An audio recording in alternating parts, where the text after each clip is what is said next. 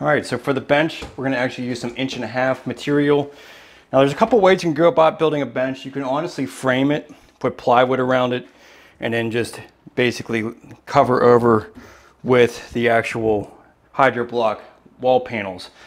And in reality, that would work just the same, but it honestly is better to have everything foam because there isn't any expansion contraction of wood. Um, but if you construct it well, there's no reason you couldn't do this out of framing as well, but we're gonna use the inch and a half board. Now, the only thing about the inch and a half is that you need to have spacing on your support every 12 inches. So we're gonna make basically three little uh, square um, aspects to it. And as far as the height of a bench, it's really up to you. So let's go ahead and measure to the wall here, basically a 12 inch bench. 12 inches. And then we're just gonna make the height of this, like I said, 21. You know, and you can honestly always build up. So if you didn't like the height, you could always add on another layer of the Hydro-Blok um, to build up the height if you wanted to. Once you're too high, there's not much you can do. So we'll go 21 by 12 and we'll make a couple, three of those little uh, supports for it, essentially.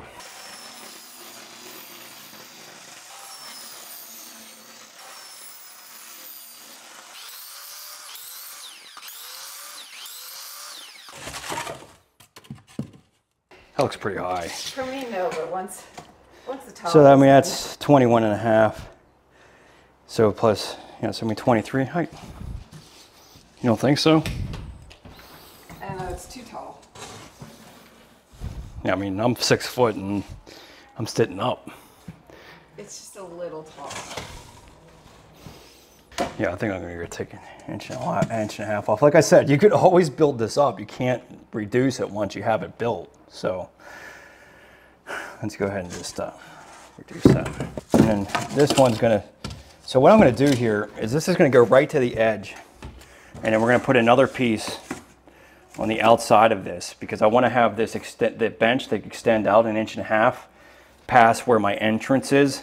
And main reason for that is because my glass is going to be going right here and you want some kind of reveal on that bench. So if you can use like an inch, inch and a half board on the outside of this, that works out great. And then if you were going to be doing any type of actual curb, that even is even more important to have a little buffer out on that bench so that when you put your threshold of your curb on, it actually meets up with the bench rather than sticking outside of it. There's nothing worse than seeing a curb sticking outside of a bench because somebody didn't plan. So make your bench a little bit wider than your actual transition of your shower.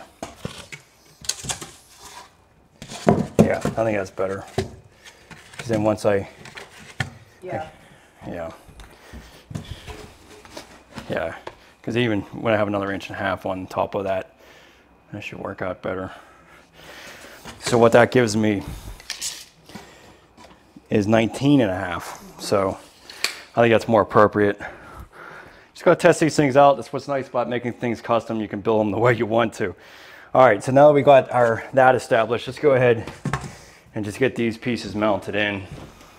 One thing you wanna do is make sure that this is pitching up towards um, the back of the wall. You want, to, you want all the drainage coming in. So the way that this is sitting right now is not too bad. We're just gonna make it, we just have to make sure that that pitches. And then, I mean, really, I just need the bubble. I really just need this bubble hitting that line. That's all I need. I don't need a lot of pitch. It just needs to be enough that water is gonna drain off of that bench and come in here. So that's, that's like the perfect amount right there.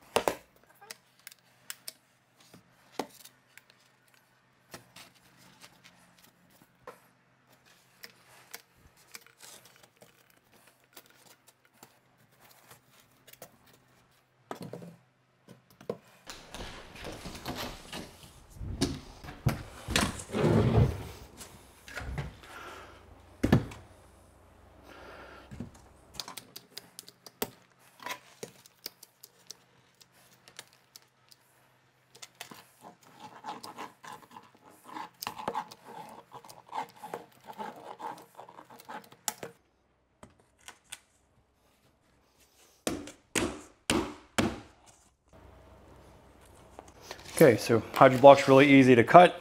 So 37 and a half. So go ahead and just cut this.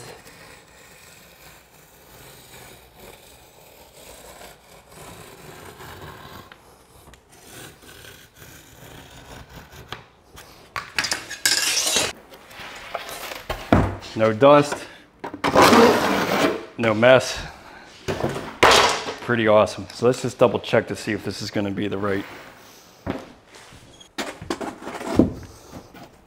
Yeah, so it looks like I got a little bit of overhang on this guy.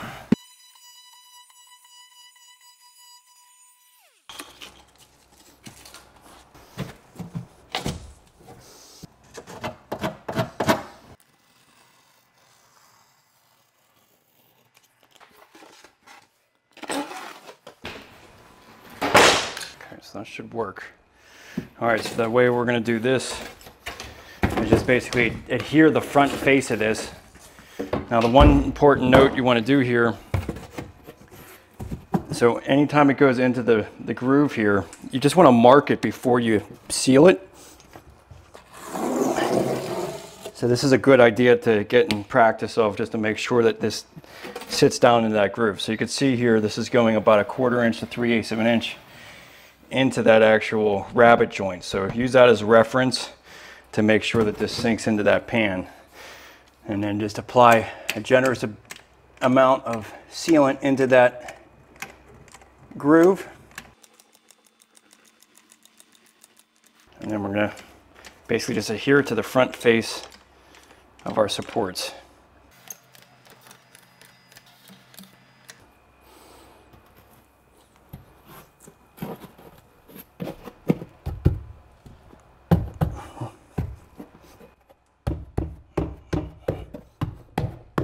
And then just make sure you can see how that's oozing out of there. It's a good sign. That's all nice and square and plumb.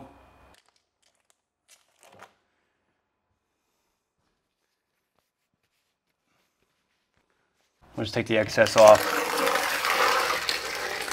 And we'll just, we'll address that corner again here in a minute, but you don't want that to, you don't want that to harden up on there but that looks good. You got everything filled.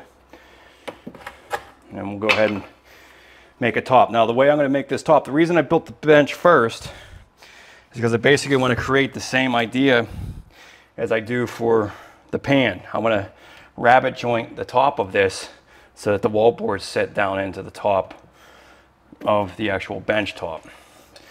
So let's see what our bench top is. At 37 and a half and by the 12, well, it looks like 12 and a half now for our back. So 12, actually 12 and three quarter, 12 and five eighths. We'll go 12 and five eighths. So 12 and five eighths by 37 and a half. Okay, so we need to recreate the rabbet joint. Now this would be the same method that if you wanted to cut down your shower pan, this would be the exact same method. So you want to first reduce the size, your, the height of your blade. So reduce this down to the height of the board. I'm going to be going the thickness of this as well. So straight over the thickness of that.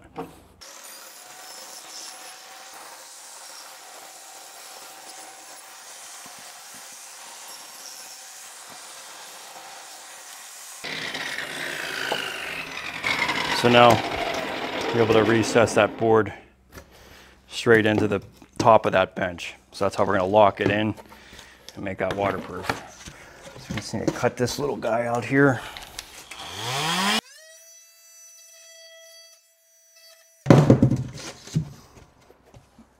Okay, so now we can go ahead and just use the sealant to adhere it to the to the top of these supports.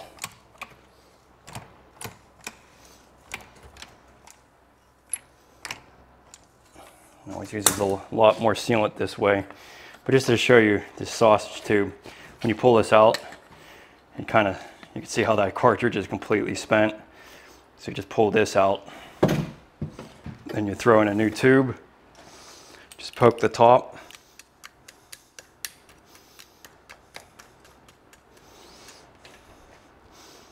And reapply your nozzle.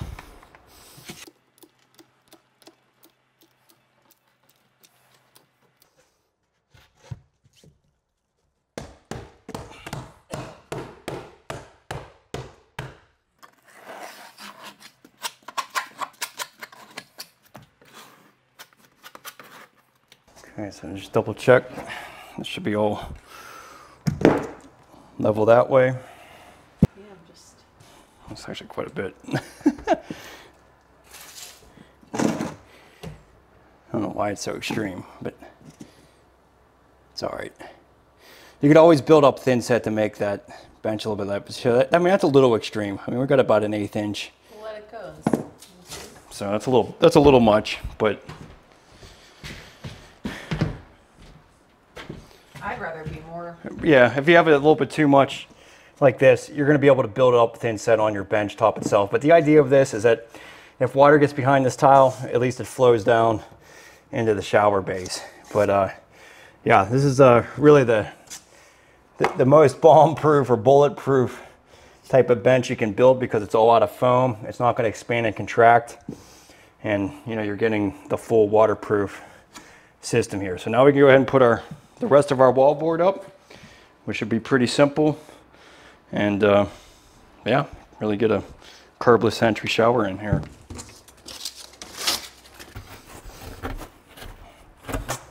Okay, looks good.